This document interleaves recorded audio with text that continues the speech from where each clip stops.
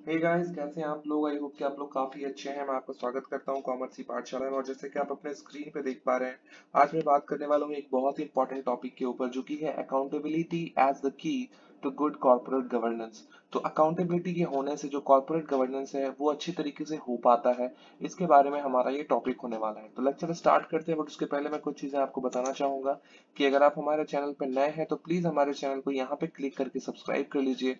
और bell icon दबा दीजिए ताकि आप मेरे वेब ताकि आपको जो है नोटिफिकेशन जो है मिलती रहे जब भी मैं वीडियो डालूं।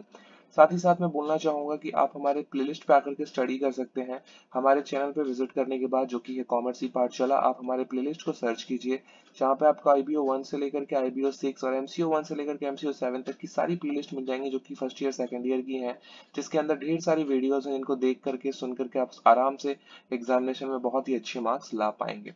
ठीक है? तो चलिए फिर लेक्चर स्टार्ट करते हैं। मैं साथ ही साथ ये भी बता दूँ कि आप चाहें तो हमारे मेंबरशिप प्लान को ज्वाइन कर सकते हैं। सिंपल सा प्रोसेस है। इसमें आपको असाइनमेंट फ्री ऑफ़ कॉस्ट मिलेगा। 24/7 हमारी तरफ़ से आपको सपोर्ट प्रोवाइड किया जाएगा जब तक कि आपका कोर्स कंप्लीट ना हो जाए। और साथ ही साथ आपको नोट्स अगर आप खरीदना चाहें तो वो भी आपको फोर्टी डिस्काउंट में मिल जाएँगी। ठीक है? So these are the benefits you will get इसके अलावा लेक्चर स्टार्ट करते हैं और कुछ मुझे नहीं कहना।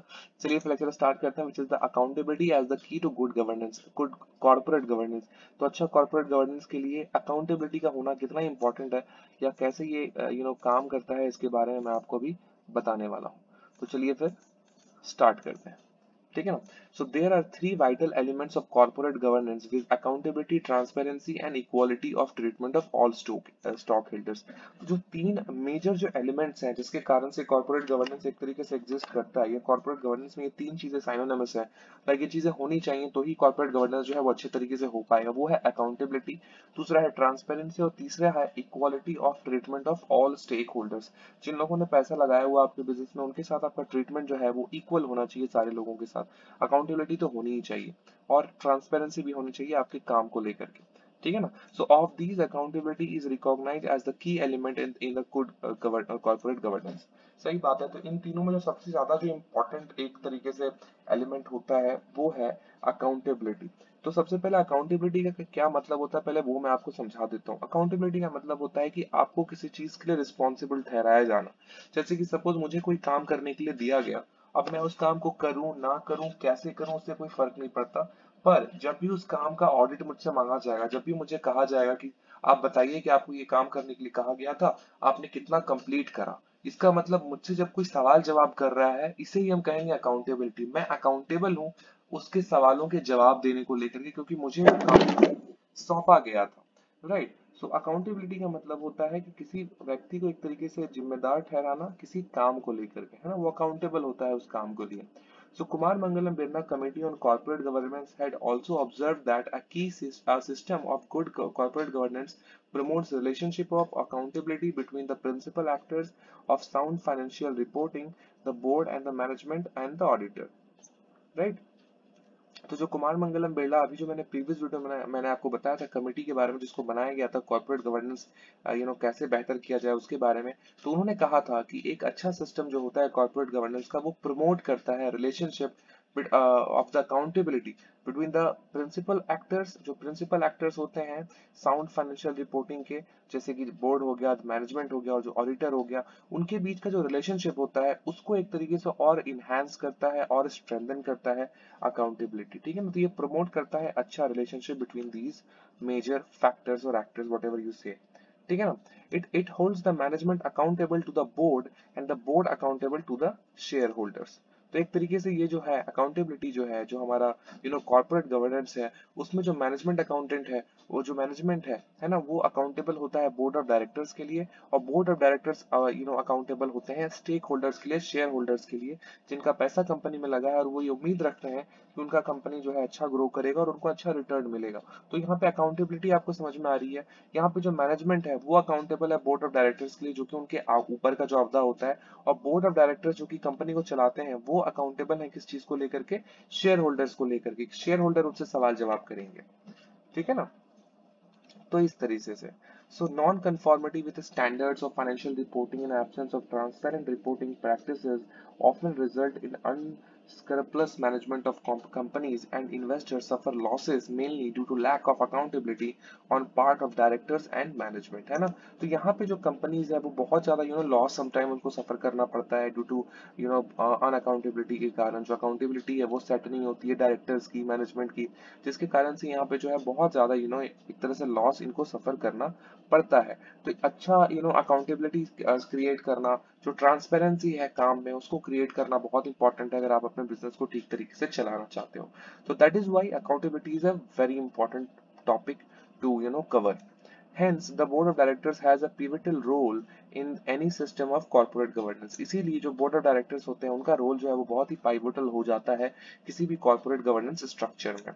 While the board of directors and controls management chief जैसे कि मैनेजमेंट में क्या आ जाएगा? Chief executive executive director and key managers the directors are jointly and severely accountable to all stake holders है ना? तो जितने भी टॉप लेवल मैनेजमेंट हमारा होता है, जैसे कि बोर्ड ऑफ़ डायरेक्टर्स कंट्रोल करते हैं चीफ एग्जीक्यूटिव को एग्जीक्यूटिव डायरेक्टर्स की मैनेजर्स ये सारे के सारे जो लोग होते हैं, ये सारे के सारे जॉइंटली और सिवियरली अकाउंटेबल होते हैं स्टेक होल्डर्स के सामने। स्टेक होल्डर्स इनसे जब चाहे सवाल जवाब पूछ सकते हैं कि क्या रिपोर्ट कार्ड है भाई? अच्छा क्यों नहीं परफॉर्म कर पा रहे हो वगैरह वगैरह इस तरह की चीज़ें। The board may be required periodically to report on the activities and progress of the company in transparent way to all the stakeholders. तो बोर्ड जो है एक तरीके से आपसे पूछ सकता है कि आप पीरियोडिकली डेटा हमें प्रोवाइड करो कि आपने किस तरीके से चीज़ों को हैंडल करा है किस तरीके से आप बिज़नेस को चला रहे हैं। ये सारी जानकारियाँ जो है आपको उनके साथ शेयर करनी होती हैं। ठीक है? सो so, यहाँ पे पॉइंट वाइज बताया गया है कि जो हमारा पॉइंट है कि अकाउंटेबिलिटी जो है, एक अच्छा चीज़ होता है गुड गवर्नेंस के लिए, उसको पॉइंट वाइज यहाँ समझाने की कोशिश की गई है। So the tools commonly prescribed for ensuring accountability are summarised as follows सबसे पहला है board the board is balanced as regarded the representation of sufficient number of non-executive and independent directors who will take care of the interest of all stakeholders. है ना? सो so, बहुत important है कि किसी की भी अकाउंटेबिलिटी सेट करने के लिए जब आप यू नो मैनेजमेंट की अकाउंटेबिलिटी सेट करते हो तो वहाँ पे बोर्ड ऑफ़ डायरेक्टर्स को थोड़ा शक होना पड़ता है।